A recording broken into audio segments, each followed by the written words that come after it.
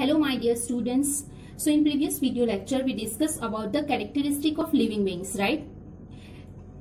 How can we define the living thing, right? तो हमने देखा था कैरेक्टरिस्टिक्स देखे थे दो कैरेक्टरिस्टिक्स हमने अ, देखे थे एक तो था ग्रोथ और दूसरा था रिप्रोडक्शन राइट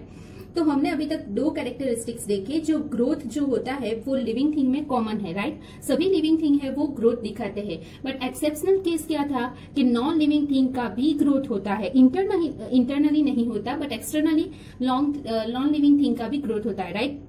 तो ल- जो ग्रोथ है, उसको हम डिफाइनिंग प्रॉपर्टी नहीं बोल सकते।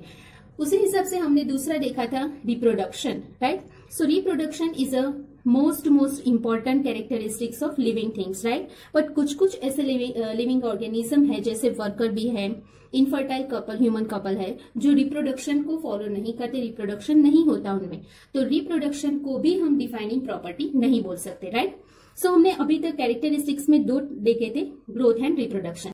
Now another most most important characteristic of living things is metabolism. So, metabolism is a defining property of living beings. तो वो कैसे डिफाइनिंग प्रॉपर्टी है वो हम देखेंगे। So first of all what is metabolism it is the sum total of all biochemical reactions taking place inside a living system तो हमारी body में बहुत सारे बहुत सारे बायोकेमिकल्स रिएक्शंस होते हैं right thousands of biochemicals reactions are occur in our body and उससे हमें क्या मिलता है? एटीपी मिलती है जनरेट होती है एटीपी एनर्जी मिलती है राइट और कुछ कुछ रिएक्शंस ऐसे भी होते हैं जिसमें एटीपी यूज़ होती है राइट तो हमारी बॉडी में बहुत सारे केमिकल्स होते हैं right this chemical small and big belonging to various classes sizes functions etcetera are constantly being made and change into some other biomolecules right तो जो भी सारे केमिकल्स होते हैं, जो डिफरेंट डिफरेंट साइज़ के होते हैं जस्ट फॉर एग्ज़ाम्पल के अमाइनो एसिड्स है राइट right? तो वो स्मॉल साइज़ में होते हैं। बट जो अमाइनो एसिड्स जुड़ के पूरा प्रोटीन बनता है राइट तो वो बिग मॉलिक्यूल हो गया वो बिग बायोमोलिक्यूल हो गया तो ऐसे जो सारी रिएक्शन है, जो प्रोटीन बनता है कार्बोहाइड्रेट बनता है, जो मोनोसेकेराइड से बनता है राइट तो वो जो सारी रिएक्शन है, उसमें जो जो बायोलॉजिकल रिएक्शन है वो, उसे हम मेटाबॉलिज्म बोलते हैं। जो रिएक्शन होती है, उसे हम मेटाबॉलिज्म बोलते हैं right just for simple example कि अगर हमारे पास अगर कोई ओकेजन होता है जैसे कि ईद होती है या फिर हमारी पॉकेट मनी हमें मिलती है तो उससे हम कुछ कुछ पैसों का कलेक्शन करके सेव करते हैं राइट सेविंग करते हैं हम। फिर क्या करते हैं तो वो जो सेविंग किया हमने तो वो मतलब एनर्जी को हमने सेव किया एटीपी को हमने सेव किया। जस्ट फॉर एग्ज़ाम्पल और फिर हमें अगर कुछ चाहिए होता है कुछ चीज़ हमारे हाँ, हमको जो खरीदनी होती है तो उसको उसके लिए हम वो जो मनी हमने कलेक्ट किया है जो सेविंग किया है उसको हम स्पेंड करते हैं राइट तो ये सिंपल उसी तरह से मेटाबॉलिज्म होता है राइट तो उसमें भी दो टाइप के मेटाबॉलिज्म है। जैसे एक हो गया anabolism and another one is catabolism so what is anabolism building up reactions जैसे हमारे एग्जांपल में हमने कलेक्ट किए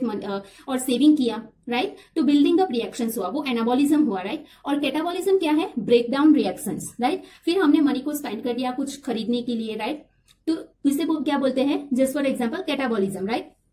तो एनाबॉलिज्म और कैटाबॉलिज्म से क्या होता है? मेटाबॉलिज्म राइट तो मेटाबॉलिज्म में ये दोनों रिएक्शन होती है एनाबॉलिज्म भी होता है और कैटाबॉलिज्म भी होता है राइट हमारी बॉडी में कुछ अ, कुछ जो मॉलिक्यूल्स है छोटे छोटे वो मिलकर एनर्जी का स्टोर करते हैं राइट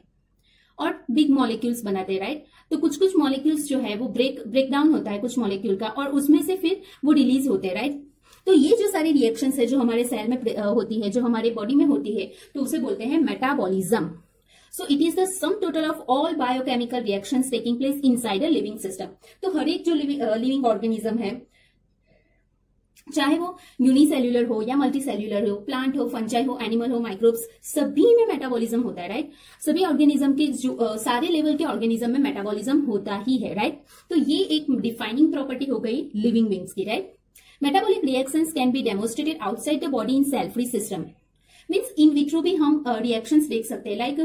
टेस्ट ट्यूब में हम अगर कोई, कुछ केमिकल रिएक्शन करवाते हैं तो वो भी वन टाइप ऑफ़ रिएक्शन ही हुआ राइट बट वो सेल्फी सिस्टम में हो रहा है राइट पर फिर भी वो एक रिएक्शन है। तो उसे क्या बोलते हैं कि isolated metabolic reactions in vitro are not living things वहाँ पे सेल प्रेजेंट नहीं है, जो हम टेस्ट ट्यूब में रिएक्शंस करते हैं, उसमें लिविंग थिंग प्रेजेंट नहीं है, उसमें कोई सेल टिश्यू कुछ प्रेजेंट नहीं है बट फिर भी केमिकल रिएक्शन हो रहा है। तो उसे मेटाबॉलिक रिएक्शन नहीं बोल सकते बट उसे सिंपली क्या बोलते हैं? बायोलॉजिकल रिएक्शन बोलते हैं right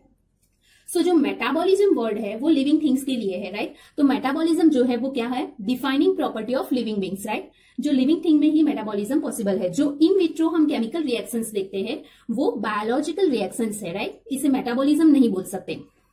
So now it's clear about what is metabolism जो एनाबॉलिज्म और कैटाबॉलिज्म से होता है catabolism means breakdown of larger molecule जो लार्ज मॉलिक्यूल होता है कभी कभी हमारी बॉडी में स्टोर होता है, जो छोटे छोटे मॉलिक्यूल होते हैं, वो स्टोर होते हैं और उससे लार्ज मॉलिक्यूल बनाते हैं। तो जब हमें एनर्जी की ज़रूरत होती है या हमारी बॉडी को जब उसकी ज़रूरत होती है तो उसे ब्रेक डाउन करके फिर इसका यूज़ करते हैं। तो उसे बोलते हैं कैटाबॉलिज्म और जो छोटे छोटे मॉलिक्यूल से बिग मॉलिक्यूल बनाने की प्रोसेस है तो उसे बोलते हैं anabolism synthesis of larger molecule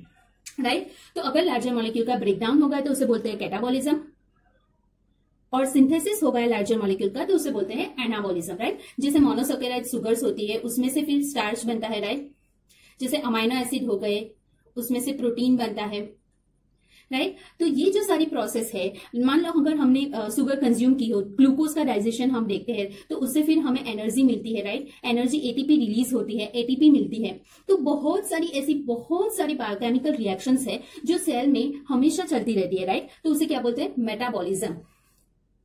तो कैटाबॉलिज्म जो होता है, जिसमें ब्रेकडाउन होता है लार्जर मॉलिक्यूल का, उसमें से हमें एटीपी मिलती है। एटीपी जनरेट होती है राइट मीन्स एनर्जी मिलती है और जब एनामोलिज्म प्रोसेस होती है, जिसमें लार्जर मोलिक्यूल बनते हैं, सिंथेसिस होता है तो उसमें एटीपी यूज़ होती है राइट तो simply this is metabolism which is one of the most important characteristic of living beings right जो डिफाइनिंग प्रॉपर्टी है लिविंग बींग्स के लिए, यहाँ पे कुछ एक्सेप्शनल केसेस नहीं है राइट right? जो इनविट्रो बायोलॉजिकल जो इनविट्रो रिएक्शंस होते हैं केमिकल रिएक्शंस होते हैं, उसे जस्ट हम सिंपली बायोलॉजिकल रिएक्शंस बोल सकते हैं बट उसे मेटाबॉलिज्म नहीं बोलते right right? So so, metabolism जो है वो एक डिफाइनिंग प्रॉपर्टी है लिविंग थिंग्स के लिए राइट